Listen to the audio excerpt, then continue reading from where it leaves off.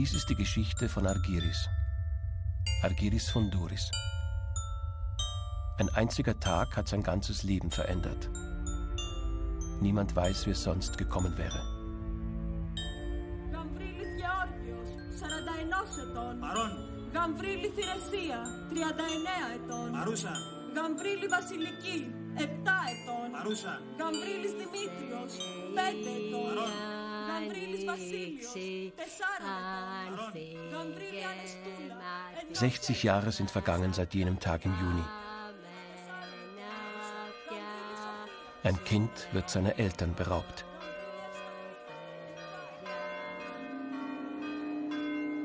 Die ganze Unfassbarkeit des Krieges. Wie leben mit einer solchen Vergangenheit? Akzeptieren? Widerstehen? Anklage erheben?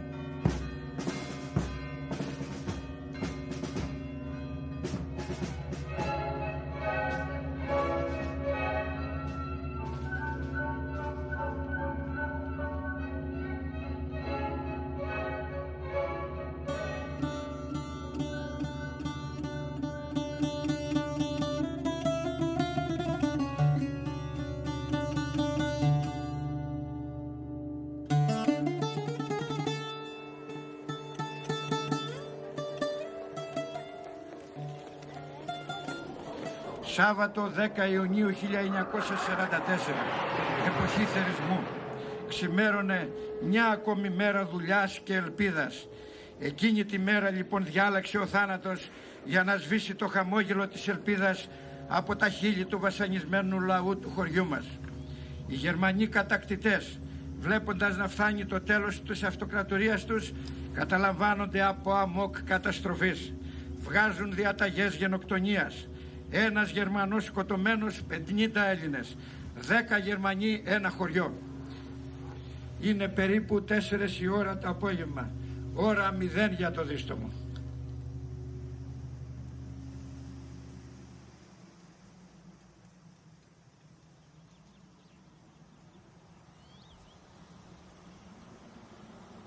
Distomo, ein kleines Bauerndorf, ein Steinwurf vom Meer entfernt, an der Straße von Athen nach Delphi. Nahe jener Kreuzung, wo in grauer Vorzeit Ödipus seinen Vater erschlagen haben soll. Hierhin war der Urgroßvater Panayotis von Doris zugewandert, ausgezogen aus dem Süden des Peloponnes, wo zu jener Zeit am Ende des 19. Jahrhunderts noch die Blutrache galt. Argiris Eltern haben schon drei Kinder, alles Mädchen. Der Vater und genauso der Großvater warten sehnlichst auf einen Sohn. Die Freude ist riesig, als nach den drei Töchtern der lang ersehnte Stammhalter zur Welt kommt.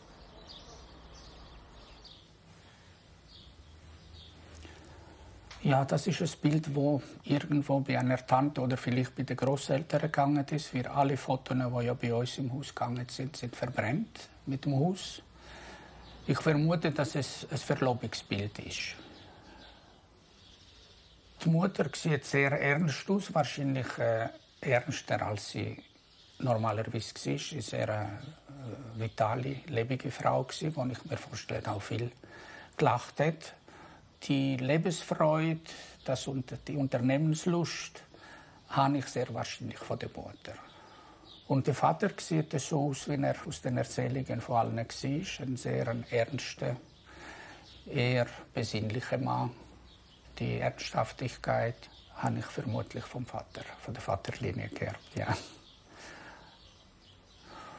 Und äh, das Gerechtigkeitsbewusstsein, gerade die älteren Leute, haben immer gesagt, dein Vater ist ein sehr gerechter Mann, sozusagen mit der Aufforderung, ich soll schauen, dass ich auch so werde. Also als Vorbild und als ja, fast Zwang.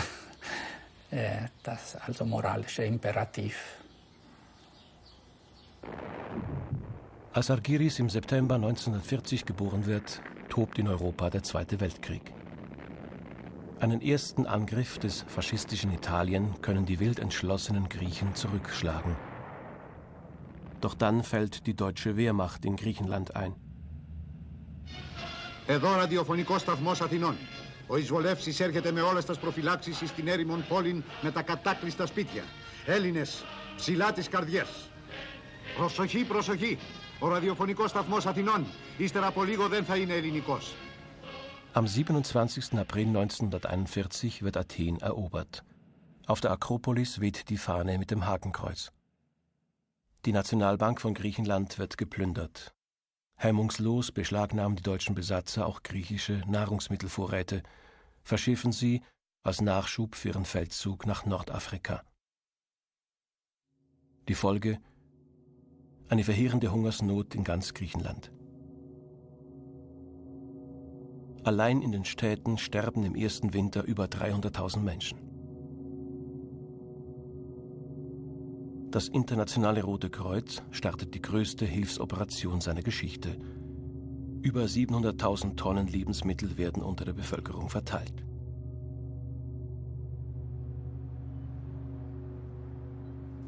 très bien les Allemands. Il, a, il, il adorait la Grèce antique. Il y a les, les soldats allemands, ils montaient à l'acropole par centaines avec les livres pour étudier. Nach schweren Kämpfen finden jetzt unsere Soldaten Zeit und Muße, die Bauten des klassischen Altertums zu besichtigen.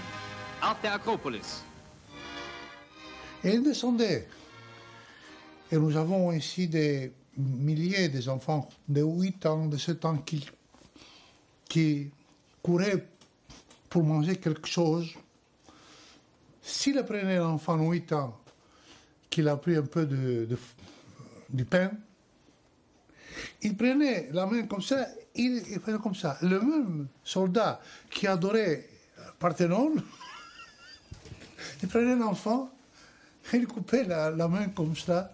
Ce n'est pas, pas, pas normal, ce n'est pas normal.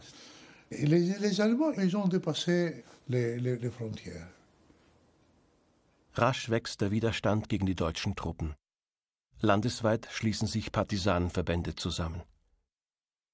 Die Nationale Befreiungsfront EAM wird gegründet, eine linke Gruppierung mit ungeheurem Zulauf. Und wenige Monate später ihr militärischer Arm, die griechische Volksbefreiungsarmee. Das Dorf ist eigentlich sehr wenig betroffen. Gewesen. Es ist äh, dadurch, dass es ein Bauerndorf ist, äh, auch nicht am Verhungern gewesen. Die Selbstversorgung Versorgung hat sehr gut funktioniert. Es sind sowohl Partisanen als auch Deutsche immer wieder ins Dorf gekommen und haben sich geholt, was sie wollen. Man hat geschaut, dass aus jeder Familie irgendjemand bei den Partisanen ist.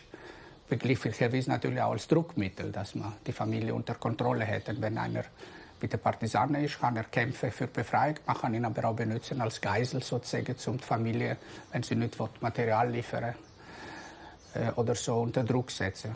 Das sind sehr, sehr grausame Zeiten in jeder Hinsicht, in vielen Dimensionen.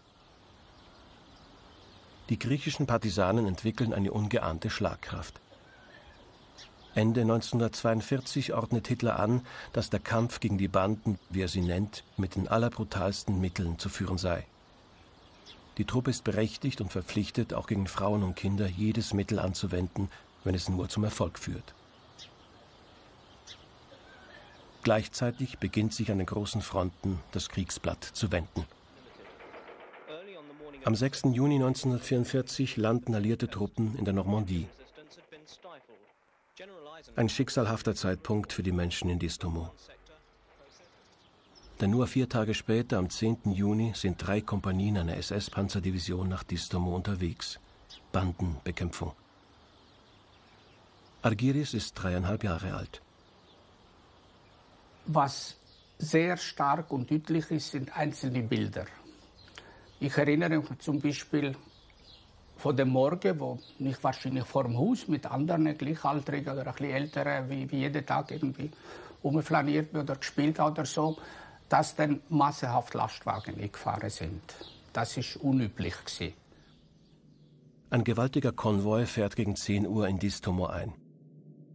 Am vordersten Fahrzeug sind zwölf junge Bauern festgebunden, Kugelfang gegen allfällige Partisanenangriffe. Eng zusammengeschnürt werden sie vor das Schulhaus gestellt. Pfarrer und Gemeindepräsident werden befragt, ob sich in der Gegend Banditen aufhalten. Ja, heißt es, tags zuvor sei eine Gruppe von vielleicht 30 Partisanen in Richtung des Nachbardorfes Stiri vorbeigezogen. Die deutschen Soldaten beginnen das Dorf zu durchsuchen. Und irgendwann ist der Befehl gekommen, wir sollen uns in die Häuser zurückziehen Und wir waren dann im Haus, gewesen, oben, wo wir gewohnt haben, im oberen Stock. Die Mutter ist ja schon am Morgen früh weg in die Nachbarstadt, Einkäufe tätigen. Das war eine zunehmend wachsende Spannung. Gewesen.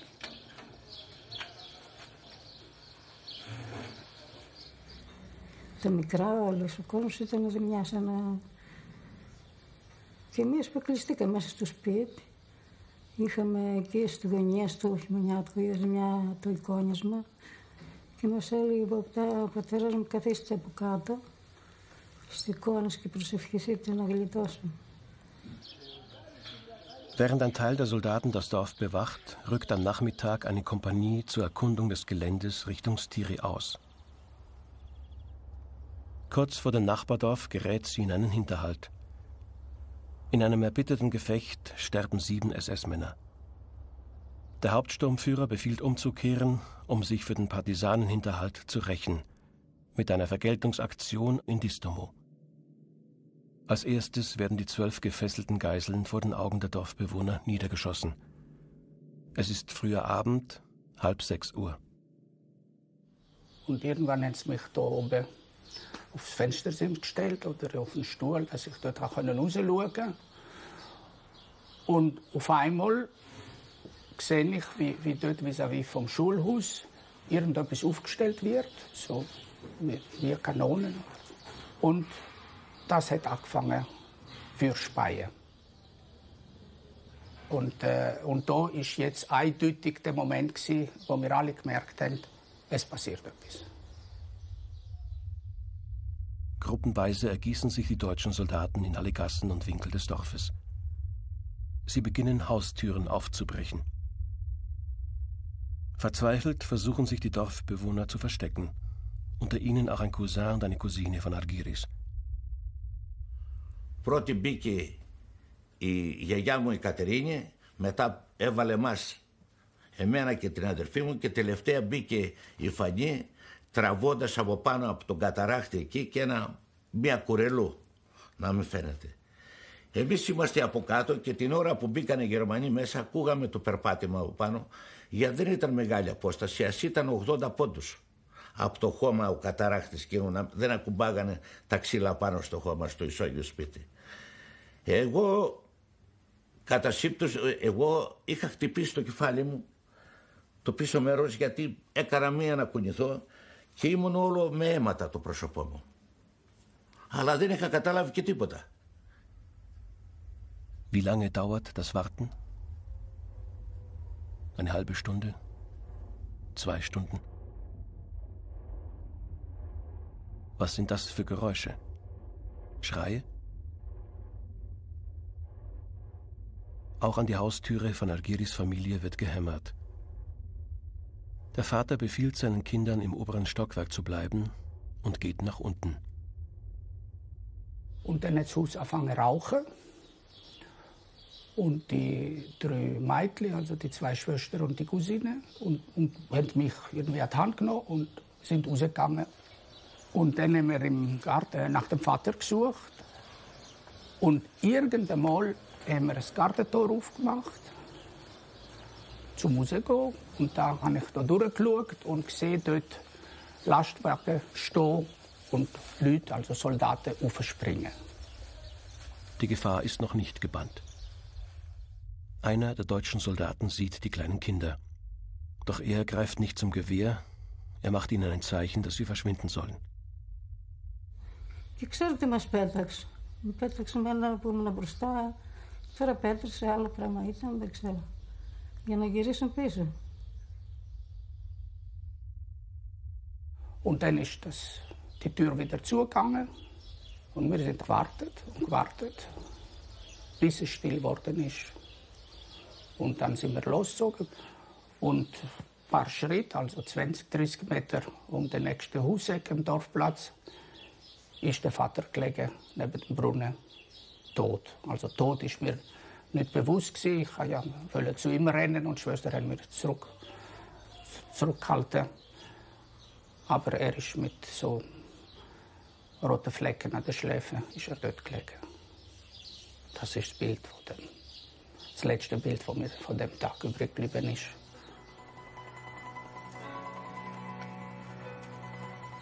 Und dann am nächsten Tag erinnere ich mich noch, was äh, der Karre, wo die Mutter aus, aus der Stadt zurückgekommen ist, haben sie drei Kilometer vom Dorf gefunden. Und ich habe dann die, die Mutter mit geschlossenen Augen dort auf dem Karre liegen gesehen. Das ist auch so ein Bild, das mir geblieben ist. Am nächsten Morgen. Da habe ich also gewusst, beide sind nicht mehr rum.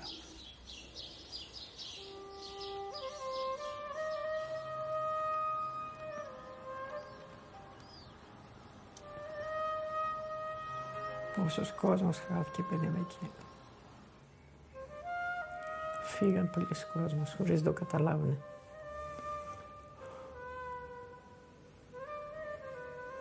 Το μπαμπάς κακομένος. Μέσα στα χόρτα εκεί τον σκοτώσαν. Πιο πάνω του Μίτσου. Πιο να πρωτοθυμηθείς.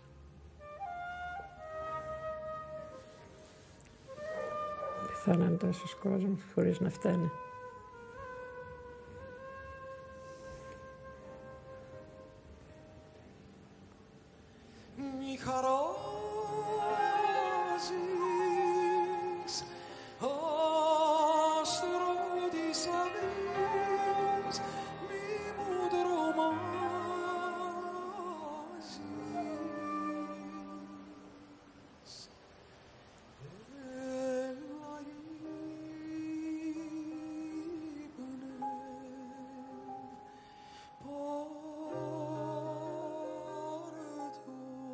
Langsam wird das Ausmaß des Massakers deutlich. 218 Menschen sind ermordet worden. Kinder und Säuglinge, Frauen, Männer, Greise. Argiris verliert neben seinen Eltern weitere 30 Familienangehörige.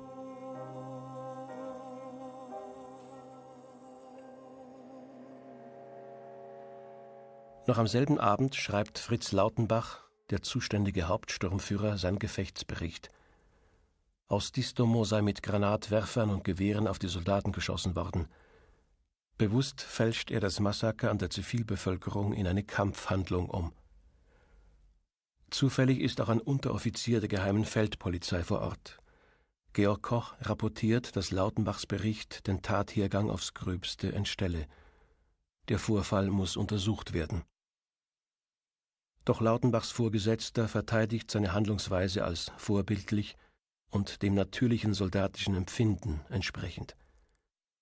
Lautenbach wird an die Ostfront versetzt. Dort fällt er ein halbes Jahr später. Im besetzten Athen hat ein gewisser Yorgos Theodorakis den geheimen Auftrag erhalten, Augenzeugenberichte von Kriegsverbrechen der deutschen Besatzungsmacht zu sammeln. Theodorakis bewahrt die brisanten Dokumente bei sich zu Hause auf, wo er sie auch seinem Sohn Mikis zu lesen gibt, damals Angehöriger der Volksbefreiungsarmee. Je me rappelle alors, c'était à, à Distomo, c'était là euh, gendarmerie.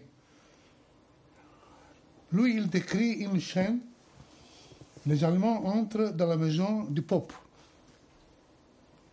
Le Pope, euh, il y avait la femme, il y avait une fille qui avait 18 ans, d'autres enfants, etc. Alors, il lit le, le. Alors, il, a, il déshabille le Pope, déshabille la fille. Hein? Tous les autres, c'était là. Alors, il coupe les seins de la fille et les met au bouche du père. Et il coupe le sexe du père et il le met au bouche de la fille, devant toute la famille. Et après, il le tue. C'était une chose. L'autre, c'était que tous les enfants qui étaient en dessus de 5 ans, ils ont allumé un grand four et ils les mettaient dans le, ils les dans la four vivant. Vivant, vivant. Comme cette, cette histoire, j'avais des dizaines comme cela. Et depuis, je suis bouleversé.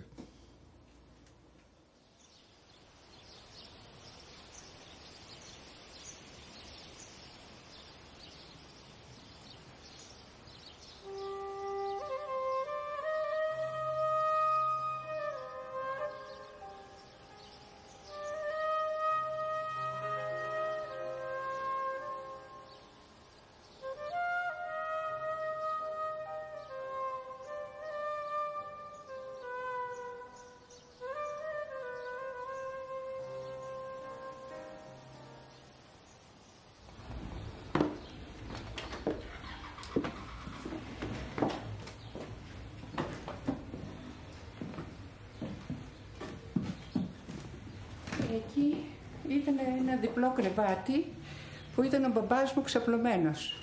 Ήταν άρρωστος. Είχε έρθει από το θέρο από τη δουλειά του και είχε ξαπλώσει εκεί. Εδώ ήταν ένα μικρό ρατζάκι, το οποίο κοιμότανε, το αδερφάκι μου, 1,5 ετών με δύο ήτανε. Η μαμά μου ήταν ακουμπισμένη εδώ. Εδώ το λέμε αγωνία και καθότανε. Εγώ και ο αδερφός μου, ο Παναγιώτης, έξι χρονό ο αδερφός μου και τεσσάρων χρονό εγώ, μπήκαμε από εκεί και μόλις τους είδαμε τους γονείς μου που δεν μας μιλήσανε, αρχίζαμε και φωνάζαμε «Μπαμπά, μαμά, Νίκο». Δεν μας δώσαν απάντηση. «Μπαμπά, μαμά, Νίκο». Ο Νίκος τον είχαν ξεκυλιάσει, το μωρό το είχαν ξεκυλιάσει και του είχαν πετάξει στα πόδια της μαμάς μου μπρούμετα. Ο αδερφός μου, μεγαλύτερος, έσκυψε και πήρε το Νικολάκι και εκείνη τη στιγμή βγήκαν όλα τα εντερά του έξω και πέσανα πάνω στον αδερφό μου. Εγώ πηγαίνω και φωνάζω μαμά και μόλις λέω μαμά και την πιάνω έπεσε και αυτή κάτω. Αρχίσαμε, κλαίγαμε και τα δυο. Και δεν ξέραμε τι να κάνουμε. Ένα παιδί τεσσάρων χρονών και έξι χρονών, όταν βλέπεις αυτή την κατάσταση στους γονείς του, τι να πει και τι να κάνει. Μετά πήγαμε στον μπαμπά μας, εκεί στο κρεβάτι, που ήταν το διπλό κρεβάτι εδώ πέρα, και αρχίσαμε και φωνάζαμε μπαμπά, μπαμπά. Κοιτάζουμε τον μπαμπά, ήταν εκτός που ήταν σκοτωμένος, ήταν και τα χέρια του κομμένα να το πάρουν το δαχτυλίδι που φορούσε ο πατέρας μου. Ξανά γυρνάμε από εδώ, ξανά στη μαμά. Τη μαμά της είχαν βγάλει μέχρι και τα δω, την είχαν χτυπήσει στο στήθος και στο κεφάλι πάρα πολύ. Από ό,τι θυμάμαι, ένα παιδί τεσσάρων χρονών. Και μόλις μας είδε η γιαγιά μας που κλαίγαμε, μας αγκάλιασε, μας είπε: Τι έγινε, παιδιά, γιατί κλαίτε, πού είναι η μάνα σας, πού είναι ο πατέρας σας; Εκεί ξεσπάσαμε πιο πολύ εμείς και αρχίσαμε να κλαίμε και τους είπαμε ότι τους σκοτώσαν τους γονείς μου.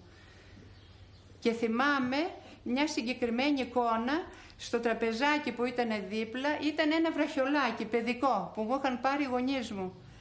Και είχε και κόκκινες χάντρες. Και το πήρα και το έβαλα στο χέρι. Εγώ από λαχτάρα και μου λέει η γιαγιά μου παιδί μου εσύ είσαι ορφανό. Εσύ θα φοράς μαύρα στη ζωή σου. Μην το φοράς το βραχιολάκι. Αυτό με έχει χαράξει μέσα στην καρδιά μου. Γιατί ε, παιδί ήμουνα και θα το ήθελα το βραχιολάκι στο χέρι. Δεν μ' άφησε η γιαγιά μου να το φορέσω ε, αυτά τι άλλο να σας πω. Με τον Αργύρι είμαστε ξαδέρφια, σφοντορέοι και οι δυο, έτσι, και έχουν περάσει τα ίδια βάσανα.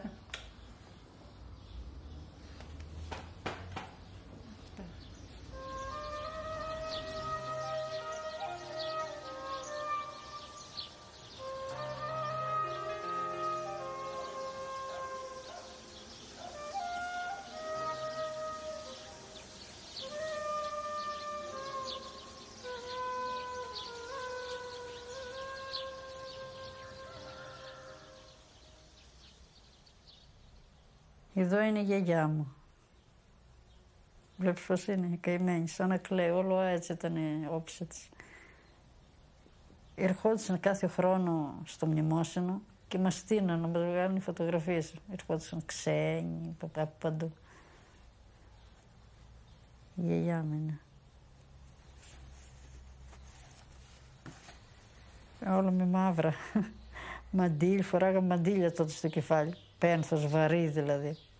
Αυτό το μαντίλι. Μικρό κοριτσάκι.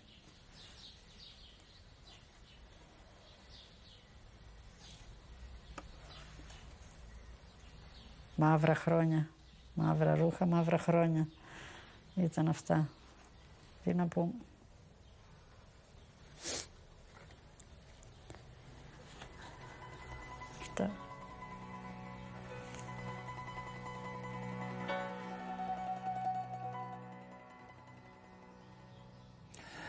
Der schaut genauso drin, wie ich mich erinnere, dass ich mich gefühlt habe, als er bis auf die Zehe.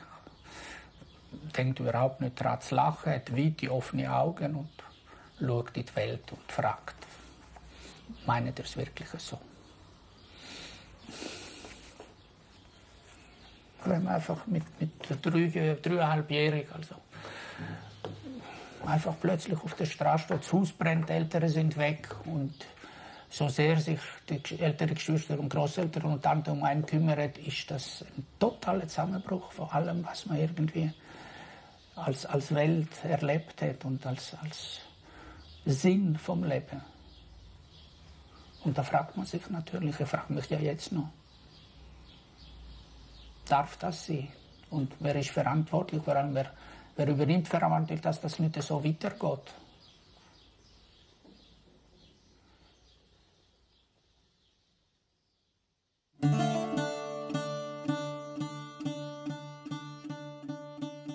Herbst 1944, wenige Monate nach dem Massaker in Distomo, ziehen sich die deutschen Soldaten aus Griechenland zurück. Fast gleichzeitig landen britische Truppen in Piräus. Die Hoffnung auf Frieden. Auch die kommunistische Volksbefreiungsarmee feiert das Ende des Krieges. Im Laufe der letzten Jahre hat sie drei Viertel des Landes unter ihre Kontrolle gebracht. Und gleichzeitig bahnt sich einer der blutigsten Bürgerkriege im Europa des 20. Jahrhunderts an. Die Briten verlangen einseitig die Entwaffnung der linken Partisanenverbände, lassen jedoch die rechten paramilitärischen Einheiten gewähren. Denn die Kommunisten dürfen auf keinen Fall zur stärksten Kraft im Land werden. Erste Vorboten des Kalten Krieges. Ein Jahr nach Kriegsende werden die deutschen Reparationsschulden gegenüber Griechenland festgelegt. Über sieben Milliarden Dollar. Doch schon bald wird Westdeutschland, der ehemalige Kriegsgegner, von den westlichen Alliierten als Verbündeter gegen den Kommunismus im Osten gebraucht. 1952 wird deshalb an der Londoner Konferenz beschlossen, dass sämtliche deutschen Reparationszahlungen zurückgestellt werden. Gestundet bis zu einem späteren Friedensvertrag.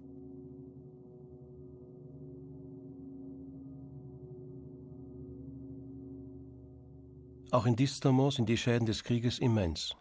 Viele Häuser verbrannt, die Schulen geschlossen. Argiris und seine Schwester Condilia, die beiden kleinsten der Familie, können nicht bei den Großeltern bleiben. Sie werden getrennt und in Waisenhäuser gebracht. In dem Waisenhaus sind also 1000 Buben untergebracht nach dem Krieg.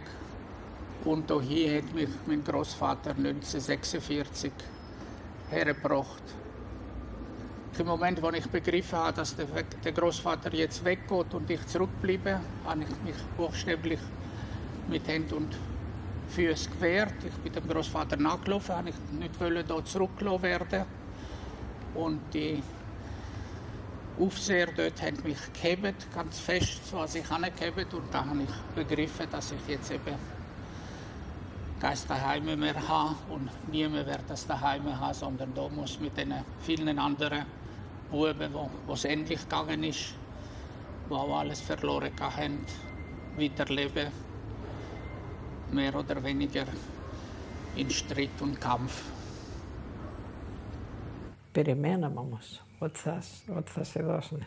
Θα μας, δώσουν, θα μας τον δώσουν να σε δούμε. Και ύστερα ε, ηρέμησες κι εσύ και λες θεία, θα, θα- εγώ θα κάτσω. Θα κάτσω, αλλά θέλω να ερχόσαστε, να με βλέπετε. Αλλά δεν μας αφήναν να έρθω. Θέλω να δουν πρώτα απο- αν θα πας καλά, αν κατάλαβες. Doch Argyris geht es nicht gut am fremden Ort. Sein Körper kann die Nahrung kaum verdauen. Er wird immer schwächer und darf deshalb in ein kleineres Heim wechseln, etwas außerhalb von Athen. Das ist der grosse Schlafsaal ohne die Mauer da. Die kleinen Fenster auf der einen Längsseite und die großen auf der anderen und vier Bettreihen. Je 25 Bett, 100 Kinder sind wir da gelegen, jeweils. Ich erinnere mich also, dass ich stundenlang jeden Tag mich dort zurückgezogen habe und nach abhauen und raus, einfach in die Freiheit geschaut habe und nur, nur gedacht habe, nur weg von da, nur weg von da. Nach vier langen Jahren geschieht etwas Unerwartetes. Eine Delegation des Roten Kreuzes erscheint im Waisenhaus. Gesucht werden Kinder, jung, intelligent und entwicklungsfähig, die bereit sind für ein neues Leben in einem fernen Land, für eine Reise in die Schweiz. Μετά που πήγε στην- για να πάει στην Ελβετία, είπαμε, είδες, είπαμε, ήταν τυχερός ο Αργύρης. Θα πάει, θα πάει εκεί, θα σπουδάσει, θα κάνει. Και θυμάμαι που είπε η Μαρία, είναι όμως μακριά. Λέω, δεν πειράζει αν είναι μακριά. Μακάρι να είχαν πάει και τα δικά μας, της είπα εγώ. Και εσύ χάρηκες που είπα έτσι. Θες Αργύρι να πας. Θες να πάει. Θέλω, θέλω, ήθελε. Πω, πω, πώς ήθελε. Του είχαν πει πως εκεί στην Ελβετία είναι καλά. Ξέρεις, στην Ελ- στην Ελβετία ήταν από όλα τα κράτη, από φανά από παντού, δεν ξέρω. Αλλά εγώ του έλεγα, θέλεις ρε, ένα, ένα παιδί 8 χρονών να πάει τώρα μόνο του. Μου ερχόταν, ήθελε όμως, ήθελε να πάει. Πήγε στην Ελβετία.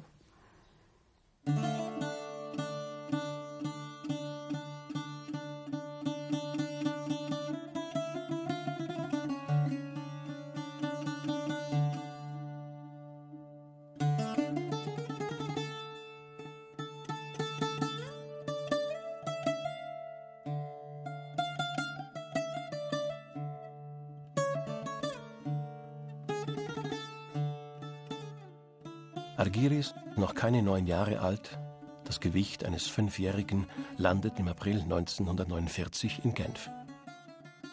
Ziel der Reise das neu errichtete Kinderdorf Pestalozzi in Trogen.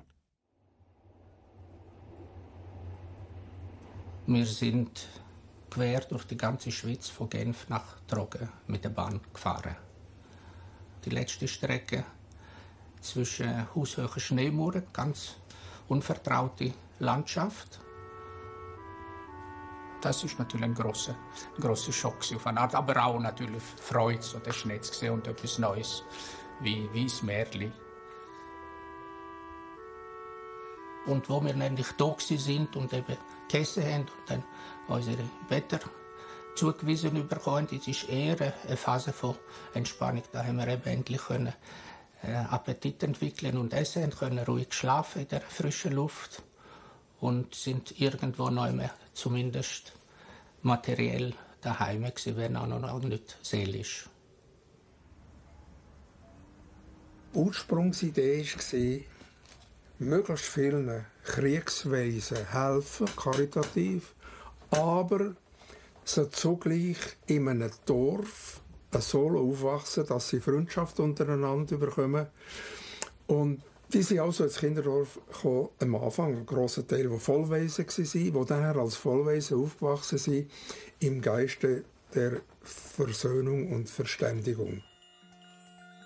Wir haben äh, früh um halb sieben Mittag gewacht, gehabt, haben dann äh, uns parat gemacht und dann gefrühstückt und dann sind wir in die Schule. Also in der Anfangszeit hier im der anderen Seite vom Haus im oberen Stock war ein Schulzimmer. Gewesen. Und dort sind wir ja wir in Griechisch, die anderen in ihrer Nationalsprache unterrichtet worden, die ganze Primarschule lang. Dann hat es eine Pause gegeben bis um zwei, wo wir dann müssen still sein Und dann ist das Nachmittagsprogramm losgegangen, wo wir äh, gemeinsam hatten, alle Nationen. Also das ist der internationale Unterricht gemischt.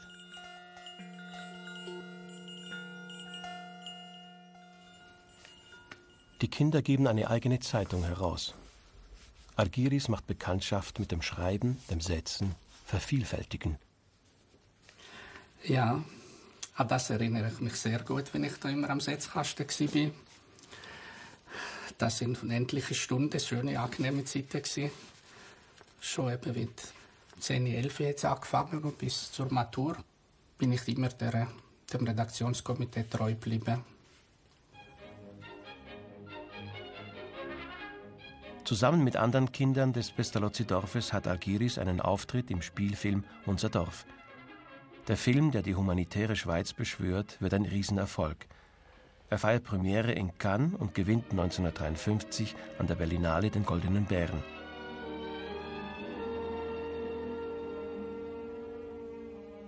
Im Film geht es um die Frage, ob auch Kriegsweisen aus Deutschland im Kinderdorf aufgenommen werden sollen. Setzt euch bitte. Nun, seid ihr zu einem Entschluss gekommen? Will keiner reden? Moi? Ah, Jean. Gut, red du. Wir sind nicht wollen bei uns? Gilt das auch für das englische Haus, Michael? Wir wollen sie auch nicht bei uns. Sinnlos. Es genügt, Kinder. Ihr könnt in eure Häuser zurückgehen. Die Szene gipfelt in einer Hetzjagd gegen ein deutsches Mädchen, das in seiner Not im Dorf Zuflucht gesucht hat. Das finde ich unheimlich, wie die Kinder da nach dem Drehbuch Nein sagen, wir wollen kein deutsches Kind und wir nachher so Hetzjagd müssen machen. Bekanntlich sind ja die Erwachsenen, die die Kinder lernen, nationalistisch zu sein und, andere Leute zu hassen und nicht Kinder von sich aus. Aber äh, wir haben wirklich äh, sehr viel gelernt, auch äh, bei den Dreharbeiten hier im Dorf. Und dann auch später dann in Zürich, wo sie dann die Innenaufnahme gemacht haben, die Präsenz. Und von dort an hat es eigentlich angefangen, dass ich mich danach gesehen habe, wenn ich dann Matur habe, dass ich dann nach Zürich studieren kann. Das ist für mich richtig das Paradies gewesen. Die Vorstellung, ich komme dann ins Paradies, ja. Als in die Oberstufe gekommen ist, habe ich dann den äh, Schülern gesagt, so, hört jetzt mal, es könnte eigentlich jeder so noch ab und zu eine Arbeit schreiben. Zum Beispiel von bedeutenden Zeitgenossen und Zeitgenossinnen. Und da waren sie einverstanden.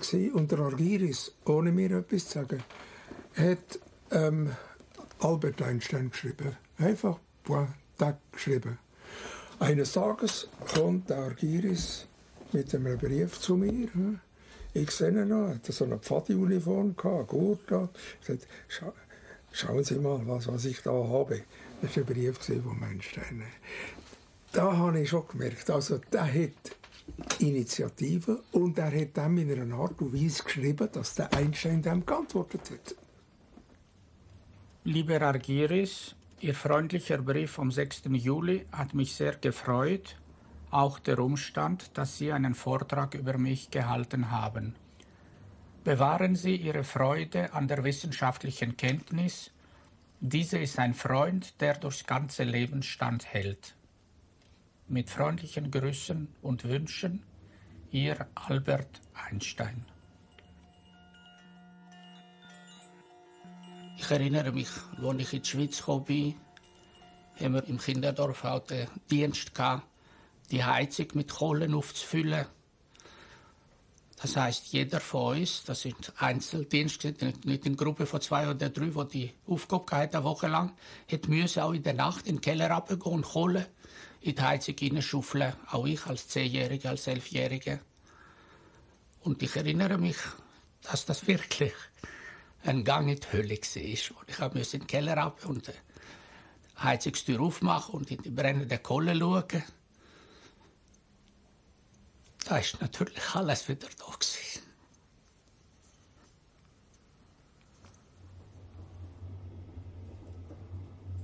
Schon acht Jahre in der Schweiz, diesem unberührten Land, wie außerhalb der Zeit, das sich weder zu den Opfern der Geschichte zählt, noch zu den Tätern. Unter den Jugendlichen des Pestalozzi-Dorfes wird kaum je darüber gesprochen, weshalb sie hier sind. Einmal an Heiligabend fahren sie gemeinsam zur Mitternachtsmesse hinunter in die Stiftskirche St. Gallen. Die Missa Solemnis von Beethoven wird aufgeführt. Das ist ein überwältigendes Ereignis. Ich bin also während der Mitternachtmesse total in eine andere Welt geraten.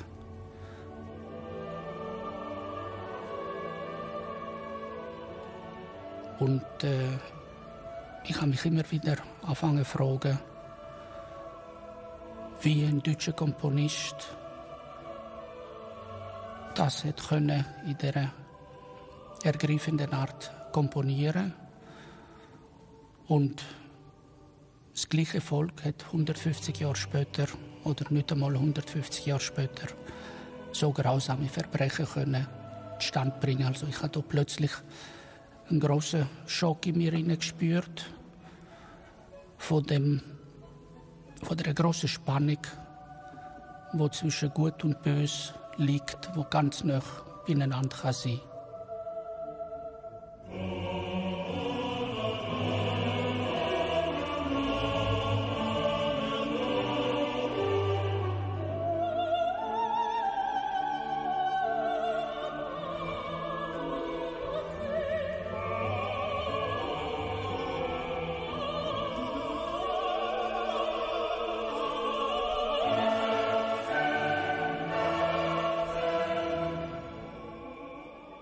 Beethoven in seiner Partitur geschrieben hat, äußere und innere Friede soll uns Gott geben.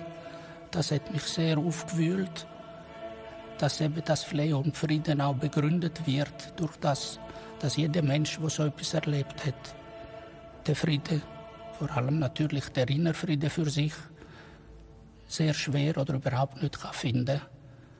Und umso schwieriger wird es dann für den äußeren Frieden, für den Frieden für alle Menschen und für die Menschheit sich einzusetzen, wenn man keinen inneren Frieden gefunden hat.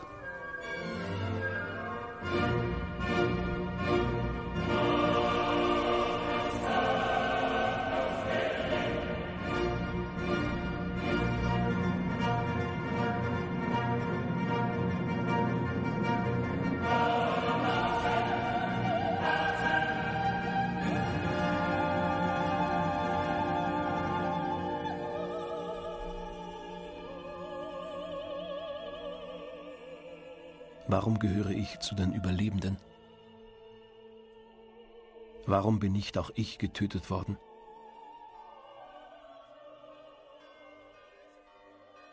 Kann man die Vergangenheit hinter sich lassen, diesen mächtigen, dunklen Schatten?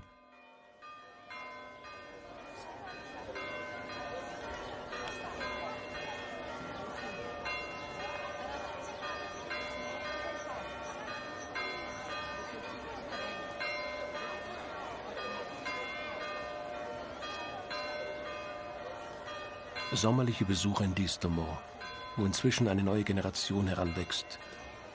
Zu Hause, wo bei aller Tradition das Massaker nicht vergessen ist. Ο κόσμος εδώ δεν ξεχνάει. Είναι σαν να έγιναν όλα εκείνα τα φρικτά γεγονότα χθες. Και πιστεύω δεν αισθάνονται μίσος, αλλά αισθάνονται πόνο, δυστυχία μέσα τους. Ε, ίσως να τους φαίνεται και όλα αυτά ότι ήταν ένα όνειρο κακό, αλλά δυστυχώς δεν ήταν ένα όνειρο κακό. Ήταν η πραγματικότητα αυτή που έγινε. Δεν είχα γεννηθεί εγώ στο- τη μέρα της σφαγής. Εγώ γεννήθηκα ένα χρόνο μετά τη σφαγή. Και πήρα το όνομα του αδερφού μου, τον οποίο έσφαξαν οι Γερμανοί μαζί με τον παππού μου, μαζί με μια θιά μου και μαζί με 11 άλλα άτομα. Τον βρήκα εκεί που ήταν το συντριβάνι, ας πούμε, που είναι μπροστά εκεί, σφαγμένο και τα μπούτια του κομμένα όπως κόβουμε το κρέας στο κρεοπολείο. Και χτυπούσε το κεφάλι του κάτω και από τότε τον έπιασαν και οι μικρανίες. Σκέφτομαι και σκεφτόμουν πάρα πολλές φορές εάν ήταν ο αδερφός, εγώ πώς θα ήμουνα και τι στοιχεία φέρνω από αυτόν και πόσο είμαι από αυτόν. Ε,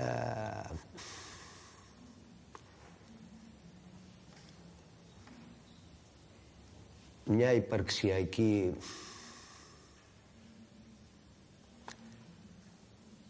θλίψη, μια απορία περισσότερο υπαρξιακή. Η γιαγιά με της είπα πού θα πάει ο Αργύρς, Ε, ήταν και ομόρφο και είχε περάσει και τόσα βάσανα.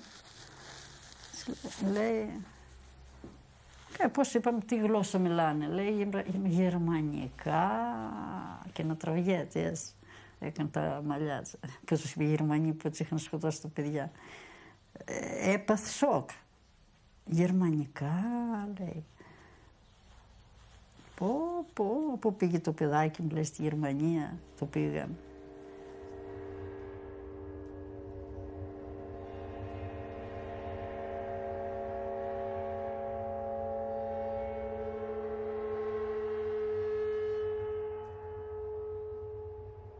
Während Argyris in der Schweiz, unweit der deutschen Grenze, seine Jugend verbringt, wächst auch in Deutschland eine neue Generation heran. eine neue Jugend, die der nationalsozialistischen Vergangenheit ihres Landes mit offenen Augen gegenübertreten will.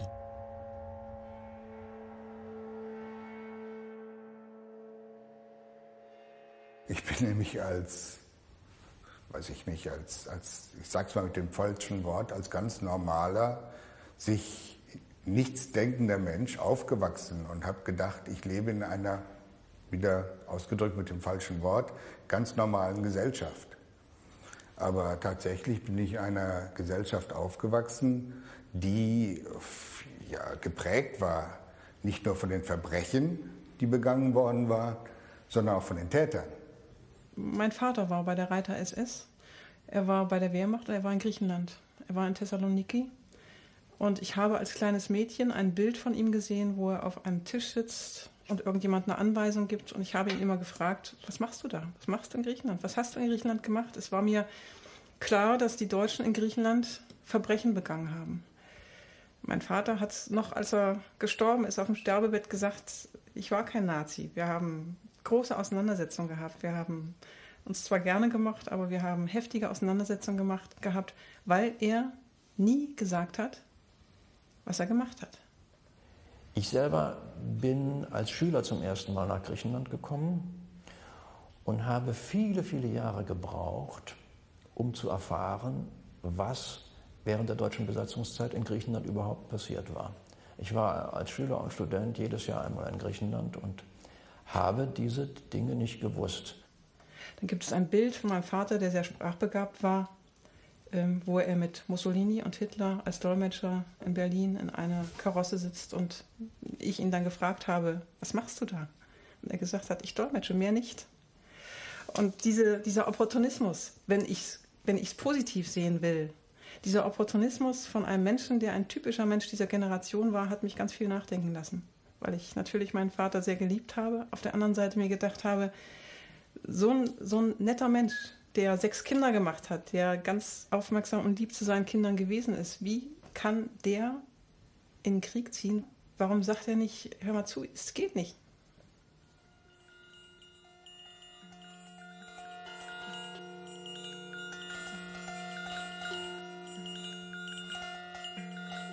Vor allem ist mir der- in der Kantonsschule. ne? Ein hochbegabter, vielseitig begabter junger Mann. Flotter Kerl.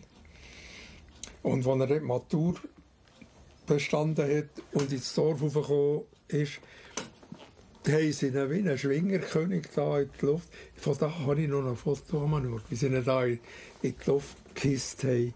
Und das hat er dann natürlich genossen, obschon er eigentlich im Grunde genommen immer ein bescheidener Typ. Er hat schon gewusst, was er kann, das hat er schon gewusst. Aber er hat das nie rausgespielt. Die Zeit des Abschieds vom Kinderdorf ist gekommen. 1959 schafft Argyris den Sprung an die renommierte ETH in Zürich, wo er Mathematik und Physik studiert. Ein neues Leben. Besonders interessiert er sich für die Kernphysik. Als ob er den kleinsten fassbaren Partikeln dieses Lebens auf den Grund gehen möchte. Dann wendet er sich dem anderen Pol zu, der Astrophysik, der Unendlichkeit des Universums.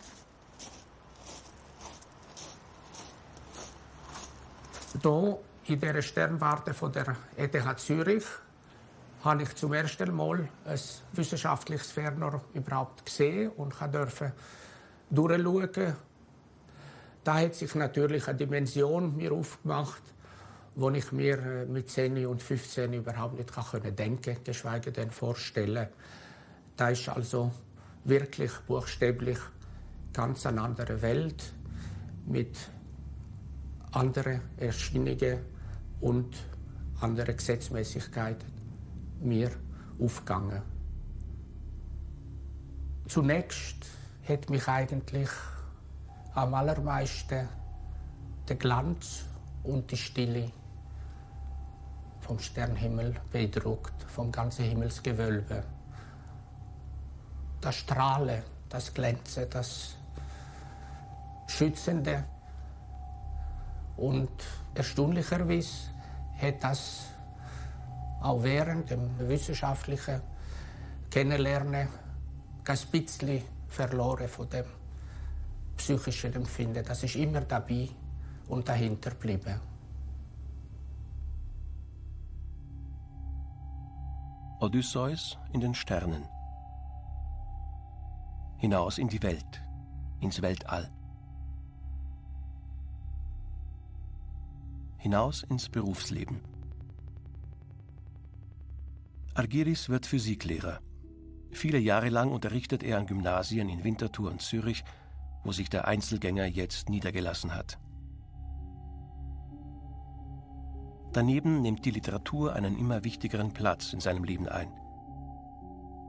Er übersetzt griechische Autoren ins Deutsche: Kazantzakis, Seferis, Yanis Rizos. Und er beginnt selber zu schreiben. Gedichte, Essays, Geschichten entstehen. 1966 ein Theaterstück, Die Geiseln des Friedens. Die Frage nach Schuld, Versöhnung, Identität und Fremdsein. Eine erste Auseinandersetzung mit den Schatten der Vergangenheit.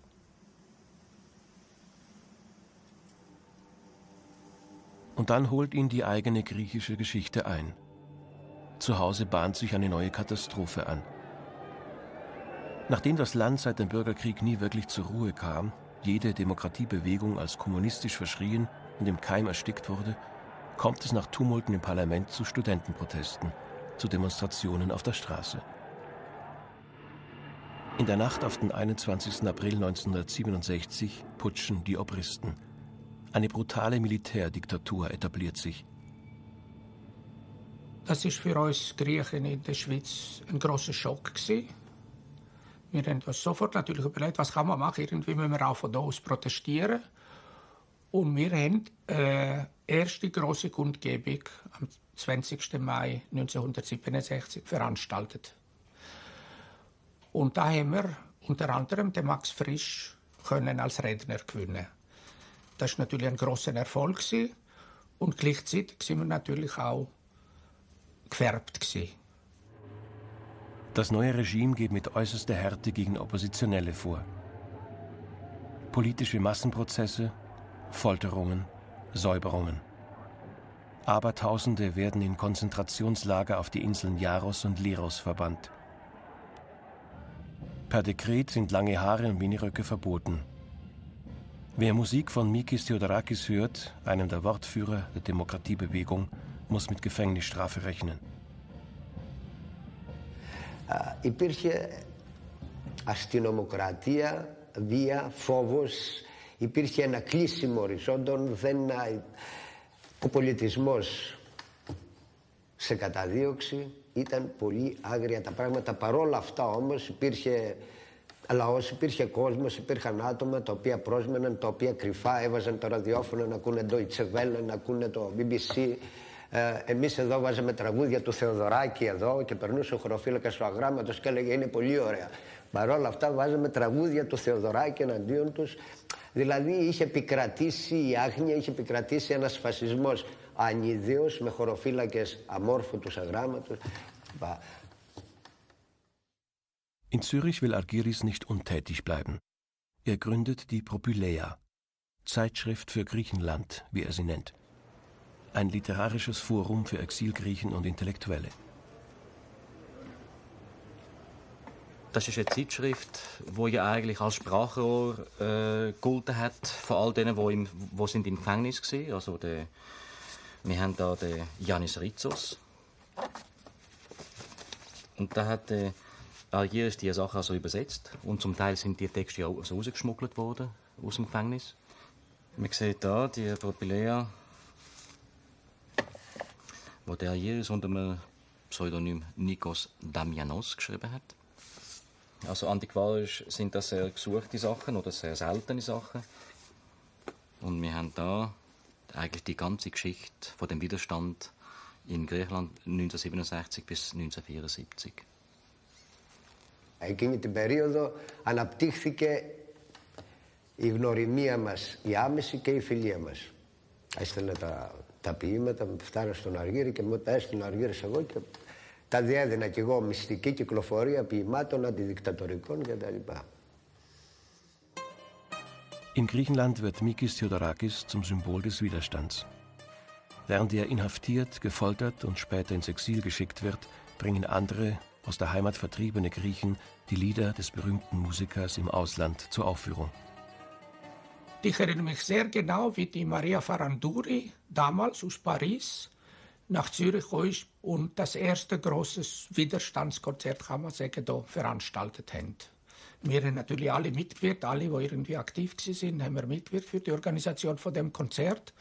Und wir sind da ständig um die Musiker herum und sind natürlich aufgegangen, wo wir da können, die Lieder hören und das ganze Parkett hat mitgesungen, das ist klar, das ist ein, richtige, ein richtiges Aufblühen vom Griechentum.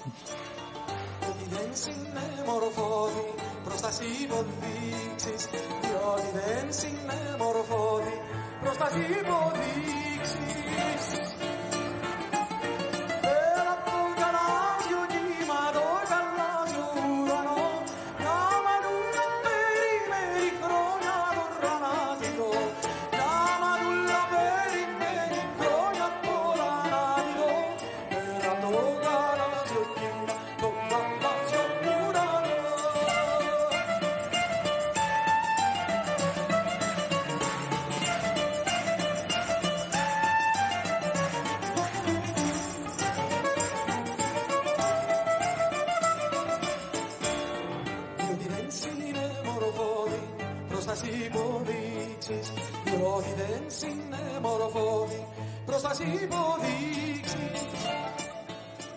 Als politischer Aktivist steht Argyris bald schon auf der schwarzen Liste der Militärjunta.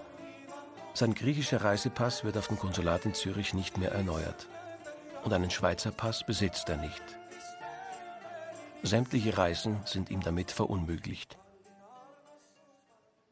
Auch als in Distomo wieder ein Neffe zur Welt kommt, Vassilis, und Argyris sein Pate werden soll, kann er nicht zur Taufe fahren. In Griechenland eine Katastrophe. Und dann sind tatsächlich meine drei Schwestern mit dem elf Monate alten Bübli durch ganz Jugoslawien mit dem Zug damals und ich bis dann in äh, Innsbruck abholen. Und wir haben ihn hier getauft und haben uns 14 Tage lang können sehen und aussprechen und emotional aufblühen. Aber es ist natürlich eine sehr schwere Zeit, wie wir nachher gewusst haben. Jetzt trennen wir uns wieder und niemand hat gewusst, für wie lange.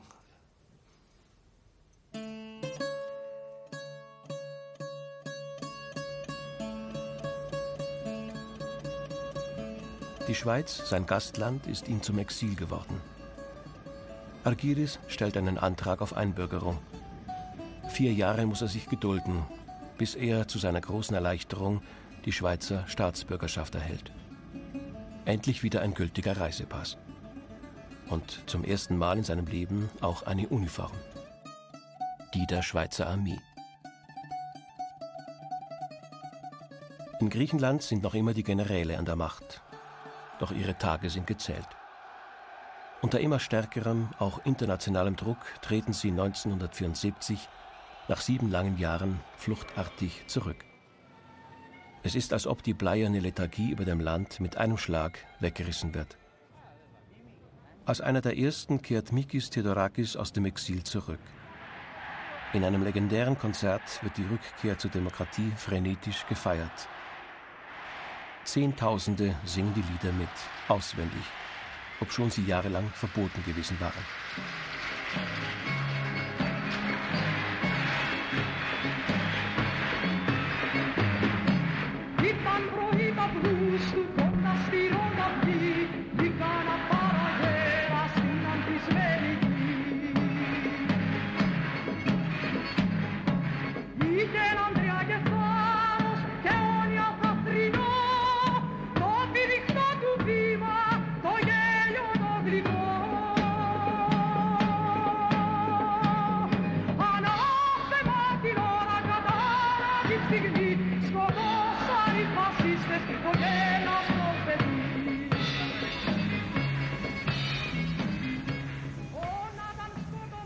Auch Argyris ist nicht mehr zu halten.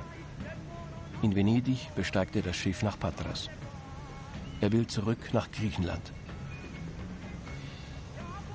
Als erstes trifft er Yannis Rizos, den Schriftsteller, den er bis anhin nur durch seine Gedichte kannte.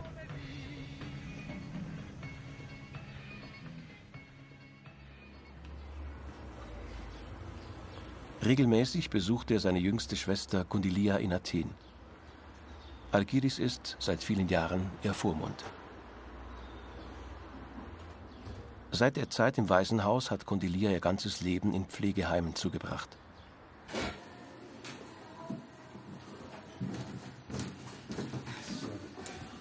Τι κάνεις, καλά. Πώς πέρασες, Ωραία, πολύ ωραία. έκανατε και πάλια. Όχι από τώρα. Όχι από τώρα βέβαια. Κάνε ευκαιρία. Πώς είσαι, καλά. Καλά, καλά, πολύ καλά. Εδώ είναι όλη η παρέα, το σόι μου. Εμένα να μου το λες. Να, να σε δείξω. Σε έχω βάλει και πρώτον πρώτον, εδώ. Και άλλη, εγώ και άλλη μου αδερφή Χρυσούλα. Εδώ είναι ο Βασίλης με το Μάη στο τσεπάκι. Εδώ είναι το Δημητράκη. Ο Ο Νικολάκης. Νικολάκης. Και εδώ ο Ρέστης. Εδώ είμαστε τρεις αδερφές. Όλη η παρέα, το σόι μου. Να το παίξουμε. Ξέρεις πώς το παίζουν αυτό;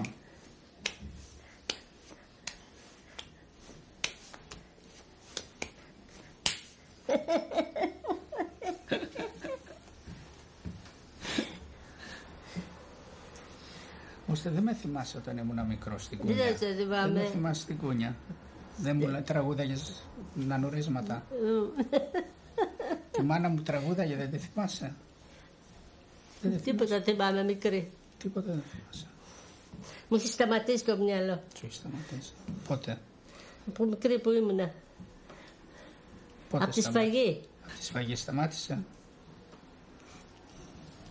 Λοιπόν, τώρα θα πούμε το πασχαλινό τραγούδι. Ναι, ναι. Να τη λαμπρή με τα λουλούδια κόψετε παιδιά την Πασχαλιά κι όλα με χαρές και με τραγούδια πάμε να ανταλλάξουμε φιλιά. Πάμε να στρωθούμε στο χορτάρι και τα αρνί μας ψήνεται σιγά. και με της Ανάστασης τη χάρη φέρτε να σου γκρίσουμε τα αυγά. Τσαπ, τσουφ, τσαπ, τσουφ.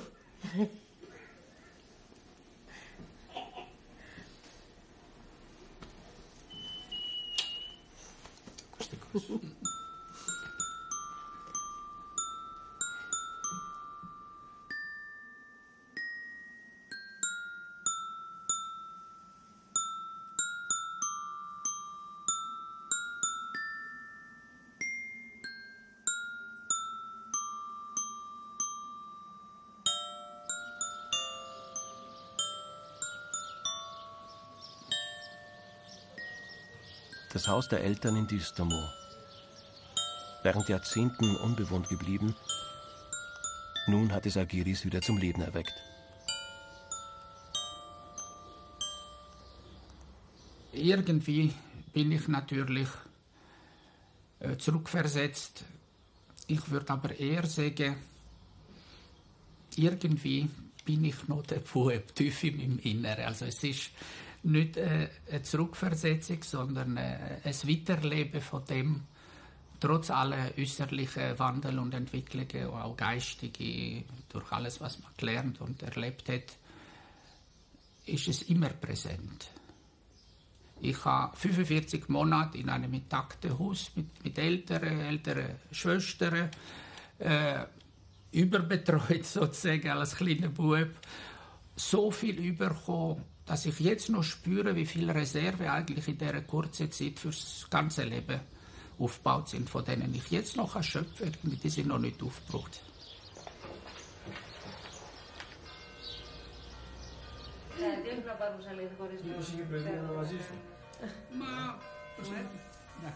Vasilis, das Patenkind, seinerzeit in Zürich getauft, feiert Hochzeit. Einer der wichtigsten Tage im Leben, auch für den Paten, der gleichzeitig auch Trauzeuge ist.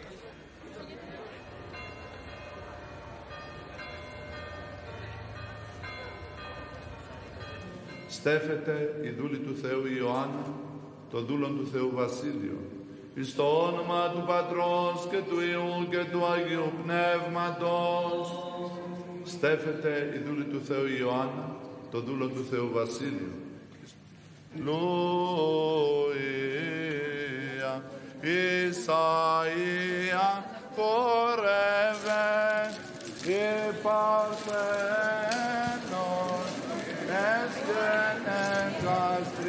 Mein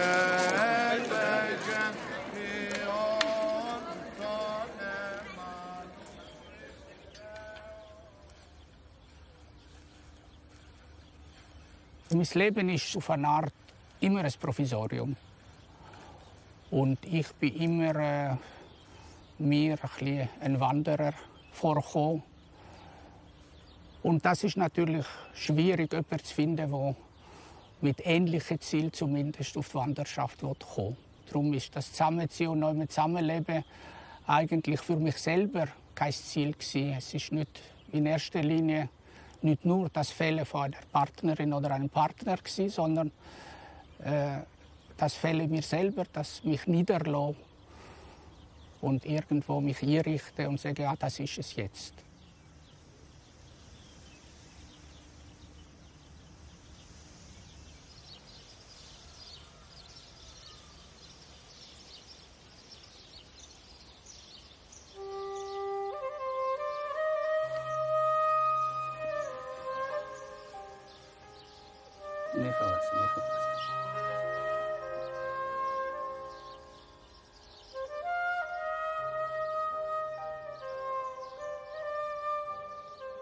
Zeit heilt alle Wunden, heißt es.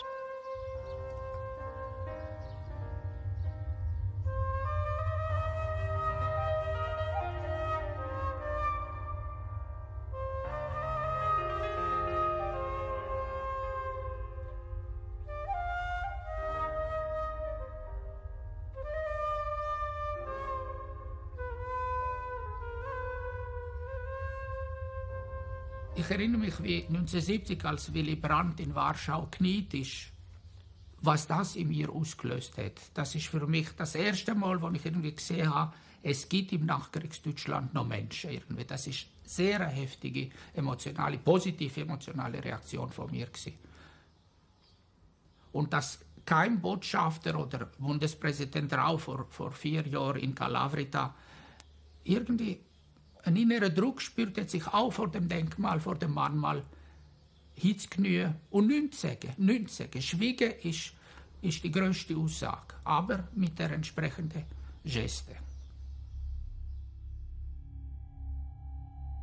Was für einen einzelnen Menschen möglich ist, wäre es auch zwischen den Völkern denkbar? Wo beginnt die Versöhnung? Wann endet die Schuld?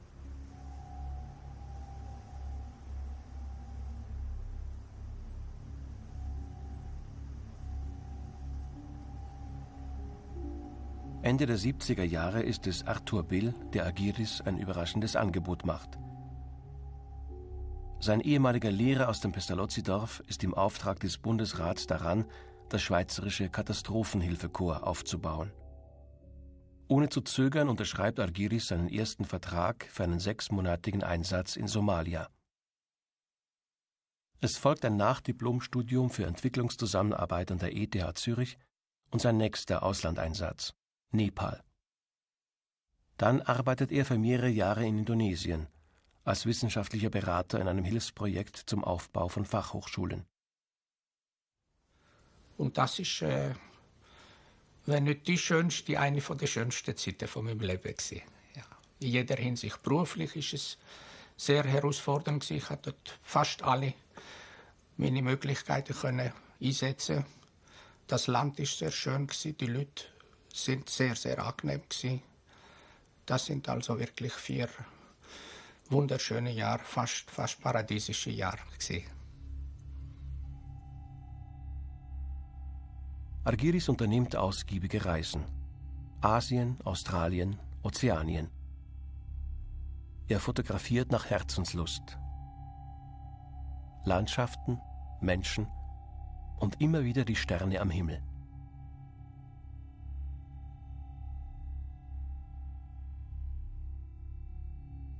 ob ich irgendwie meine Vergangenheit und all das Tragische, was ich erlebt habe, weniger mit mir umgedreht habe, das ist schwer zu sagen. Wahrscheinlich habe ich es irgendwie aufgehoben gesehen. Es ist nicht so abgelehnt und unwünschbar wie in Europa, dass man davon spricht, dass man das ja, dass man das überhaupt erlebt hat, dass man es tabuisiert, dass man es verdrängt. Es hat zum Leben gehört, ohne dass es wehtun hat.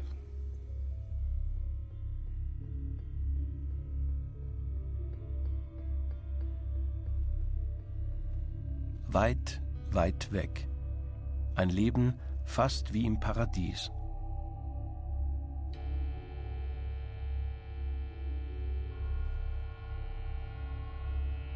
bis ihn gesundheitliche Probleme zwingen, nach Europa zurückzukehren.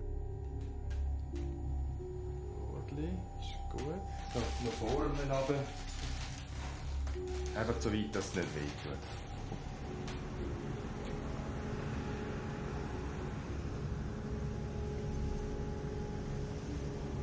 Immer häufiger reist er zwischen der Schweiz und Griechenland hin und her und die Aufenthalte in der alten Heimat werden länger.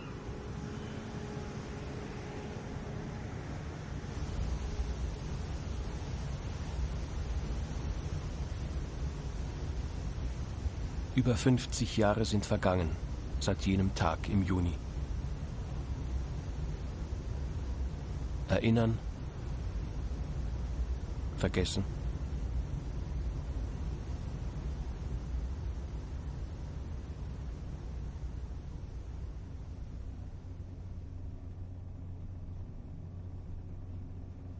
das ist äh, die Spannung, dass wenn wir an das Ereignis zurückdenken, irgendwie die Entwicklung wieder zurückgeht. Und man sich immer wieder fragt, was für eine andere Möglichkeit hätte es gegeben. Das fragt der dreieinhalbjährige seit, seit dreieinhalbjährige in mir ständig. Immer wieder. An jedem Scheideweg ist das die entscheidende Frage. Wirst du an dem weiterschaffen oder flippst du jetzt aus? Vergiss alles und versuchst einfach das Leben zu genießen oder was man so macht gewöhnlicherweise. Oder was einem alle, alle Psychiater ja immer empfehlen. Bei denen geht es ja immer um das, irgendwie etwas abzuschließen und äh, sich abzufinden. Und, und ich habe gesagt, das ist nicht mein Problem. Ich will nicht abschließen. Ich will mich nicht abfinden. Ich will nicht einfach äh, aus dem, was ich erlebt habe, nichts machen, sondern das überwinden oder verdrängen. Oder die nennen das natürlich nicht verdrängen, verarbeiten oder wie auch immer. Sondern das ist eine Aufgabe, die mir in dem Moment gestellt worden ist.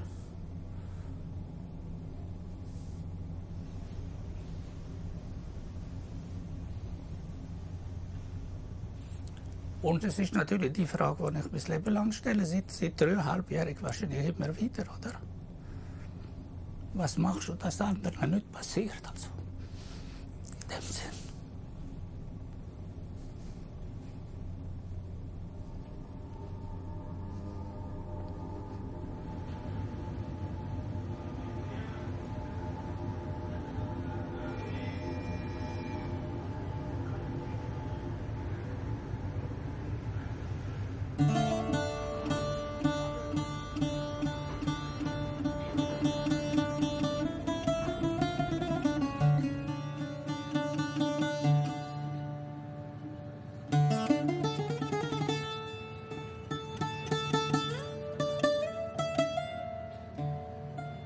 Argyris entscheidet sich für einen Schritt an die Öffentlichkeit.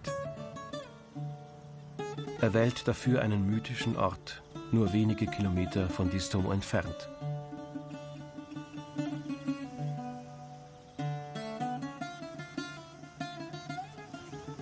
Wir sind mit im Tempelbezirk von Delphi und 1994 haben wir anlässlich vom 50. Jahrestag vom Massaker hier in Delphi die Tage für den Frieden organisiert mit äh, griechischen und schweizerischen und deutschen Referentinnen und Referenten, wo wir hier über das Thema Krieg, aber auch warum es zu Krieg kommt, warum es zu so exzessive Handlungen von Menschen kommt wie ein Massaker und wie man könnte wegsuchen, dass das nicht einfach ein ewiger Teufelskreis bleibt in der Weltgeschichte. Griechen und Deutsche tauschen sich aus. Wissenschaftler, Historiker, Angehörige und Überlebende aus Distomo hören sich zu, reden miteinander. Freundschaften entstehen. Was nicht gelingt, einen Vertreter des deutschen Staates zur Teilnahme zu bewegen. Wenn ich mir vorstelle, ein Überlebender von Distomo lädt den deutschen Botschafter in Athen zu einem Friedenskongress ein, mit internationaler Teilnahme, Professoren aus der Schweiz, aus Frankreich, überall, zum Thema Frieden. Und der Botschafter kommt nicht nur nicht hin zu diesem Kongress, sondern reagiert auf diese Einladung zunächst gar nicht. Er hätte ja auch eine Grußadresse schicken können, er antwortet nicht und schickt stattdessen zwei Sekretärinnen, die inkognito mitschreiben, was auf diesem Kongress gesagt wird, was Leute wie ich oder andere dort sagen. Und das äh, ist schon ein ziemlicher Affront. Ich kann mir schon vorstellen, dass es äh, vielleicht das Gefühl gab, dass äh, man dort auf die Anklagebank gesetzt würde. Und ähm, die Tatsache natürlich, dass hier zwischen Opfern und dem deutschen Staat äh, unterschiedliche äh, Perspektiven vorherrschen, ist ja wirklich naheliegend. Argyris bezieht in Athen eine Dachwohnung. Sein ganz persönliches Friedensangebot, die Tagung in Delphi, zu klein, zu unbedeutend, um von der offiziellen Politik wahrgenommen zu werden? Aufgeben? Einen Schlussstrich ziehen?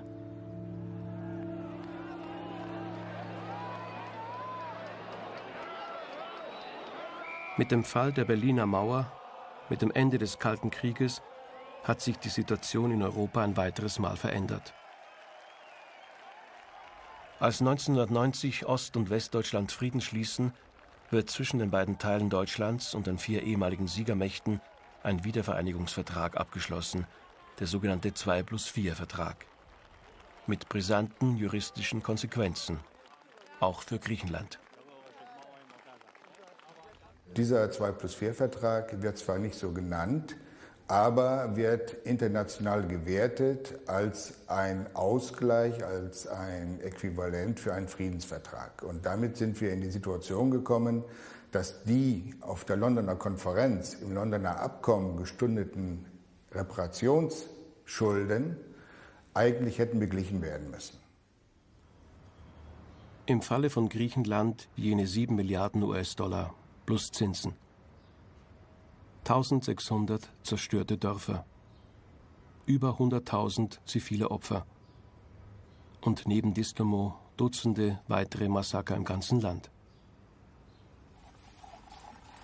Im Auftrag des Bürgermeisters von Distomo fragt Argiris bei der deutschen Botschaft in Athen an, wie die Entschädigungsansprüche geltend gemacht werden können. Drei Monate später die Antwort der deutschen Botschaft. Die Ereignisse von Distomo werden darin nicht als Massaker und damit als Kriegsverbrechen gewertet, sondern wörtlich als Maßnahme im Rahmen der Kriegsführung.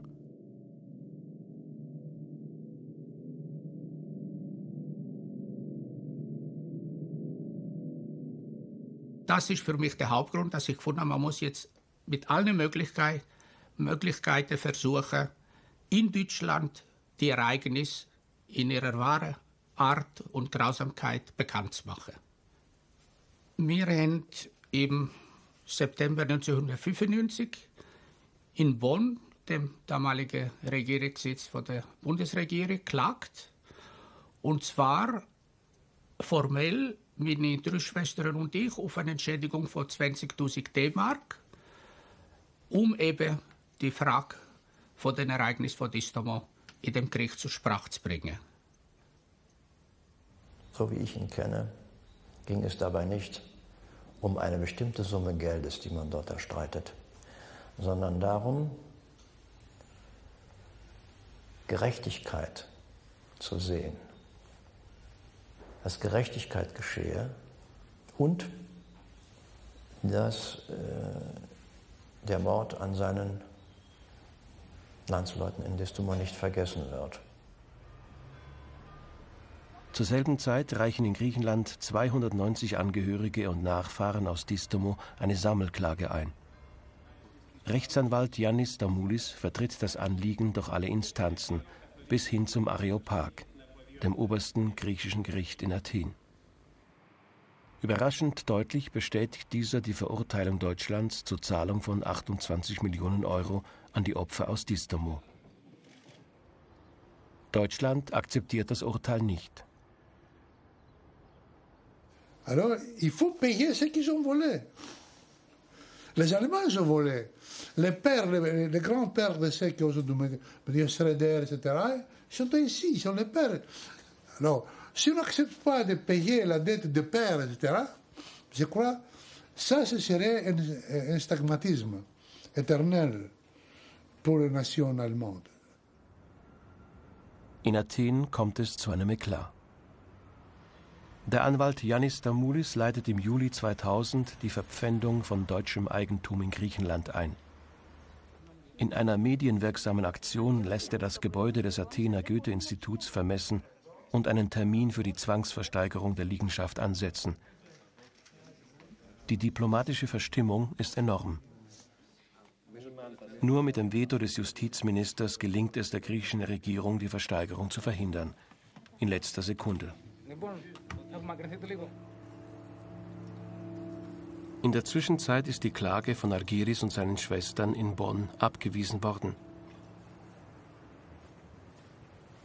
Auch die nächste Instanz in Köln entscheidet nicht zugunsten der griechischen Geschwister. Über acht Jahre vergehen seit der ersten Klage, bis schließlich der Bundesgerichtshof im Juni 2003 zu seinem Entscheid kommt. Die Hinterbliebenen von Opfern eines SS-Massakers in Griechenland bekommen keinen Schadenersatz vom deutschen Staat. Der Bundesgerichtshof in Karlsruhe wies heute die Klage von vier Geschwistern ab. Das Massaker von Distomo sei eines der abscheulichsten Kriegsverbrechen gewesen. Aber der Senat habe mit den beschränkten Mitteln des Rechts die Frage des Schadensersatzes lösen müssen. Mehr nicht. Mit dem Urteil hat der Bundesgerichtshof die Bundesrepublik Deutschland vor Ansprüchen in Milliardenhöhe bewahrt. Was den Klägern bleibt, ist der Gang zum Bundesverfassungsgericht oder notfalls zum Europäischen Gerichtshof für Menschenrechte. Donc les fantasmes de Distomo, il n'a pas fini encore. Et on ne sait pas qu'est-ce qui nous attend à l'avenir. Et je suis tout à fait d'accord avec notre ami qui, a perdu 30, 30 personnes de sa famille qui a vécu comme enfant ce que je vous avais dit à ce moment-là. Moi, je l'ai lu. Mais peut-être si moi, je, je voyais les scènes qui, que je vous décris au début, je n'oublierai jamais. Man wird es meiner Überzeugung nach in der Bundesrepublik Deutschland auf juristischer Ebene nicht auflösen. Und wenn man weiter guckt, wenn man irgendwann vom Europäischen Gerichtshof für Menschenrechte ist, ob diejenigen, die gelitten haben, noch was davon haben. Das ist die große Frage. Ne? Das, wir sind 60 Jahre weiter oder noch länger. Wir sind heute in einer Situation, wo die meisten der früheren gegen uns Krieg führenden Staaten oder von Deutschland besetzten Staaten Verbündete sind heute seit den 50er Jahren in der EU gemeinsame Politik machen, in der NATO äh, Alliierte und Verbündete sind. Und ich denke, dass äh, das schon auch allgemein verständlich sein muss, dass Deutschland ähm, nicht mit Verbündeten über Kriegsreparationen mehr verhandelt dass es einen Konsens gibt in der deutschen Bevölkerung, nicht zu zahlen, ist eigentlich unglaublich. Ich gehe zu meinem Nachbarn, schlag ihm alles kurz und klein. Dann kommt er und sagt, ey, jetzt gib mal Geld her. Und ich sage, bist verrückt? Ist schon zehn Jahre her. Argiris kann nicht aufgeben. Er will in Deutschland an die Öffentlichkeit und findet im Land der ehemaligen Täter mehr Unterstützung und offene Ohren, als er erwartet hat. Im Rahmen der Ausstellung Verbrechen der Wehrmacht wird er nach Hamburg, Nürnberg und in weitere deutsche Städte eingeladen. Das Thema seines Referats Kriege dürfen sich nicht lohnen. Aber er trifft auch auf das alte Deutschland. Im bayerischen Mittenwald findet alljährlich das Veteranentreffen der Gebirgsjäger statt ehemalige Elitesoldaten der Wehrmacht und der SS, verantwortlich für zahlreiche Kriegsverbrechen, auch in Griechenland. Argiris nimmt als Referent an einer Gegenveranstaltung vor Ort teil. Er will das Tabu des absoluten Soldatengehorsams brechen, hinter dem sich Täter allzu mühelos verstecken können. Das ist etwas, was mich lebenslänglich sehr stark beschäftigt, bedrückt hat wie sich die Soldaten dort in Distomo eine Stunde, anderthalb Stunden lang so bestialisch können verhalten. Das geht mir nicht aus dem Kopf. Und ich denke, es müsste doch Möglichkeiten geben, in der Soldatenausbildung, in der Offiziersausbildung, Barrieren einzubauen, dass so etwas gar nicht erst möglich ist. Im April 2005 lädt ihn der Deutsche Arbeitskreis Distomo an einen Kongress in die Hauptstadt Berlin ein. Unterwegs im Land der ehemaligen Täter.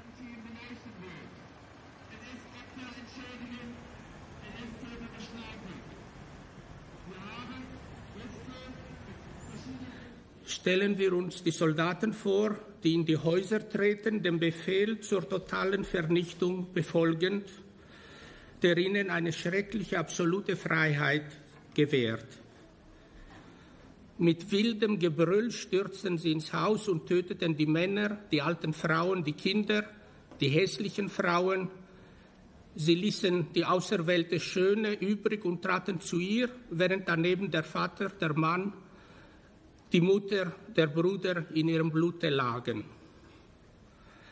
Die Schwestern K. fand man tot und vergewaltigt. Das Kind der GP hatte Wunden am ganzen Körper.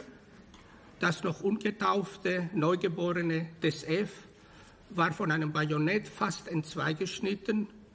Irgendein Deutscher tötete zuerst mit einem Schuss die Mutter LB, die einen 40-tägigen Säugling am Arm hielt. Der Säugling begann zu schreien und der erzürnte Soldat der Wehrmacht trat mit voller Kraft auf seinen Kopf, dass das Hirn unter dem Stiefel hervorspritzte.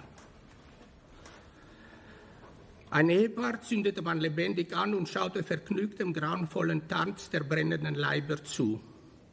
Vier Dorfbewohner wurden hingemetzelt, mit den Därmen um den Kopf gewickelt aufgefunden. Fast alle Bewohner, die im Dorf zurückgeblieben waren, sind hingemetzelt worden, darunter 45 Kinder, 53 Frauen, 75 Reise, 20 Kinder unter fünf Jahren und sechs ungetaufte Säuglinge.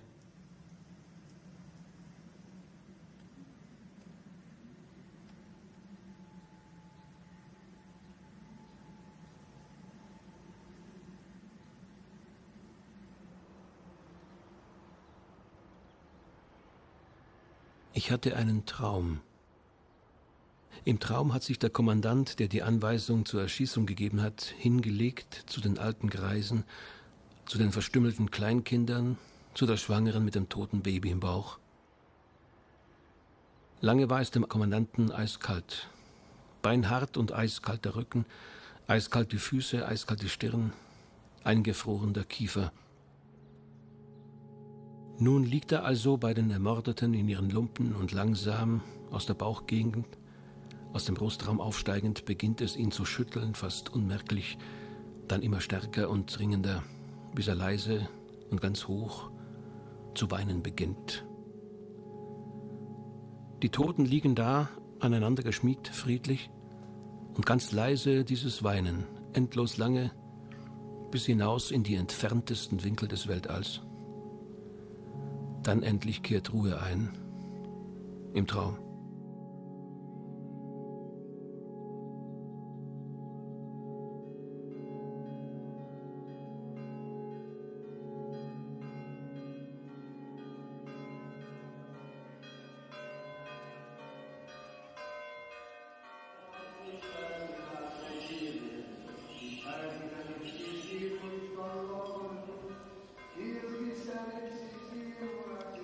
Zehnter Juni 2004. Zum 60. Mal jährt sich der Tag des Massakers. Wie alle Jahre bereitet sich das Dorf auf die zweitägigen Feierlichkeiten vor. Aus Athen hat auch Botschafter Spiegel seinen Besuch der Gedenkfeier angekündigt. Es ist ein wahnsinnig schweres Thema und eine sehr schwere Sache, äh, dort zu stehen, an so einem Ort oder in Auschwitz oder an anderen Orten und zu wissen, dass diese Verbrechen im deutschen Namen begangen wurden. Aber ich gehe ja bewusst dorthin. Finde, das ist ganz, ganz wichtig, dass ich gerade als Botschafter oder ein Botschaftsvertreter dahin geht, um das Gefühl zu vermitteln, dass wir die Opfer auch betrauern. Ευλογητός ο Θεός ημών πάντοτε νυν και αΐ και εις τους αιώνας των αιώνων. Ιωάννου Δήμητρας, Γεωργία Λουκά Δήμητρας, Παναγιώτου Μαρίας, Όθωνος Ελένης Τούλας, Αθανασίας Ιωάννου, Σταμούλας καλούσας, Αθηνάς, Αθηνάς, Χρήστου Θεμιστοκλέους, Ευτυχίας Ιωάννα. Man kann das versuchen, sich in die Situation eines Opfers zu setzen, aber man wird es nie schaffen. Und insofern ist natürlich so ein Dialog immer in der Gefahr, dass man aneinander vorbeiredet und dass man eigentlich ganz was anderes gemeint hat und es einfach nicht ankommt, weil ein gewisses Schlüsselwort fehlte.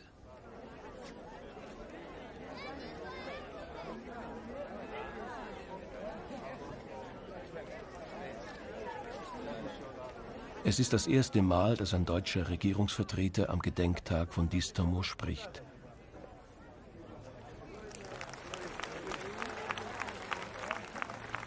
Κύριε Δήμαρχε,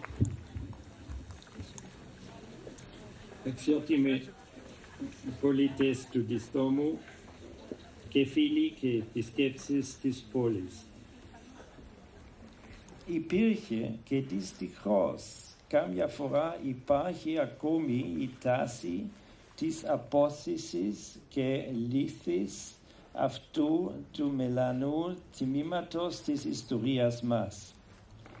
Αυτό είναι ένα λάθος, στο οποίο θα αντισταθώ. Όπως όλοι γνωρίζουμε, το κλειδί της συμφιλίωσης είναι η μνήμη. Μόνο μια χώρα που γνωρίζει την ιστορία της έχει μέλλον. Αξιότιμοι πολίτες του Διστόμου, εύχομαι από τα λόγια μου σήμερα το βράδυ να συγκρατήσετε στην μνήμη σας κυρίως ένα, την παράκληση μας για συγχω... συγχώρεση και θα ήθελα να εκφραστώ Siniomi.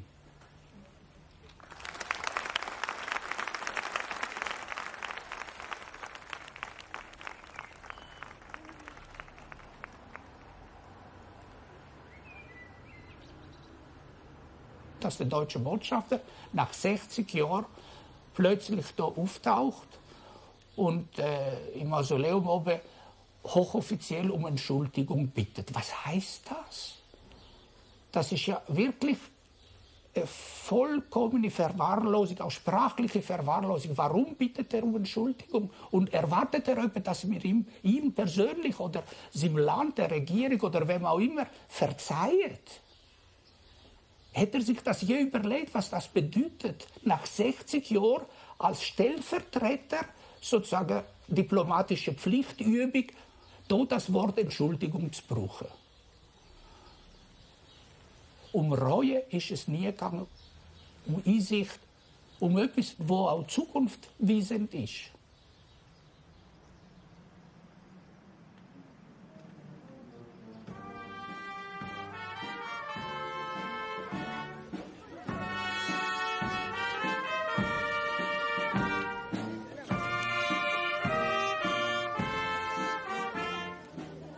Über 60 Jahre sind vergangen seit jenem Tag im Juni.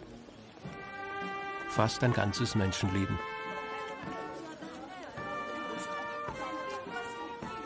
Widerstehen, Anklage erheben, annehmen, weiterleben mit einer solchen Geschichte. 44 ετών. Παρούσα. Γαμβρίλη Σοφία, 43 ετών. Παρούσα. Ζήσης Νικόλαος, 71 ετών. Παρόν. Ζήσης Παναγιώτης, 66 ετών. Παρόν. Σφουντούρη Βασιλική του Αθανασίου, 32 ετών. Παρούσα. Σφουντούρης Νικόλαος του Αθανασίου, 2 ετών. Παρόν. Σφουντούρη Εκατερίνη, 44 ετών. Παρούσα. Σφουντούρης Νικόλαος του Αργυρίου, 45 ετών. Παρόν. Σφουντούρη Βασιλική του Νικολάου,